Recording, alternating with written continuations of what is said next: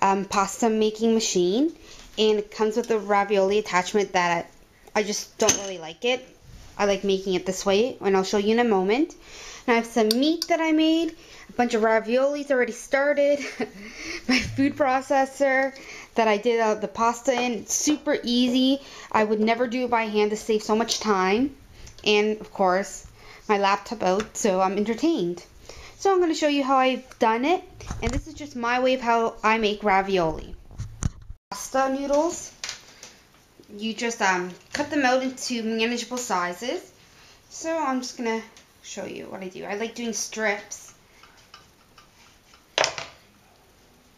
And that way you can make little pockets. See, I just pinch them. They're still a little wet so they pinch well.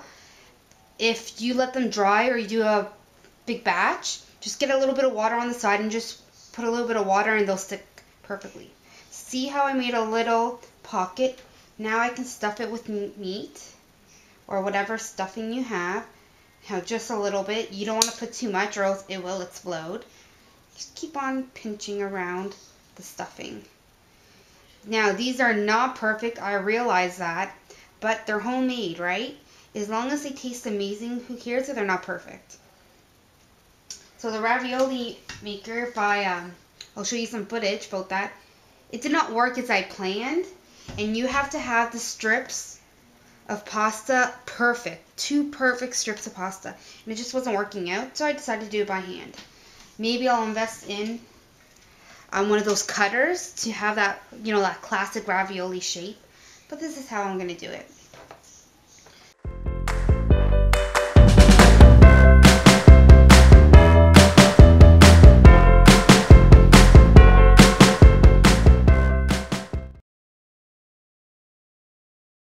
All so all the pasta that I made I've used so far. So now I'm just going to boil a few for you to see how they look once they're cooked.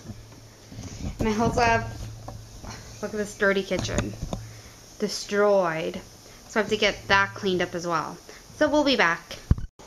And I'm going to pop in a few of my raviolis. And just give it a good mix so they don't stick to the bottom.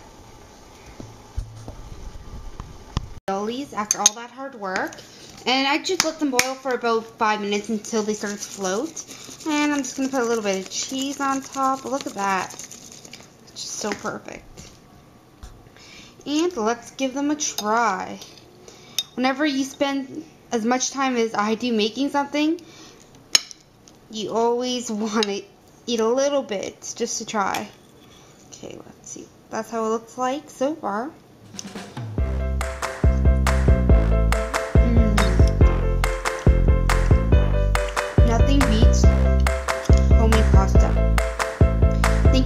watching, everyone. Don't forget to like and subscribe to my channel so you never miss anything. Bye.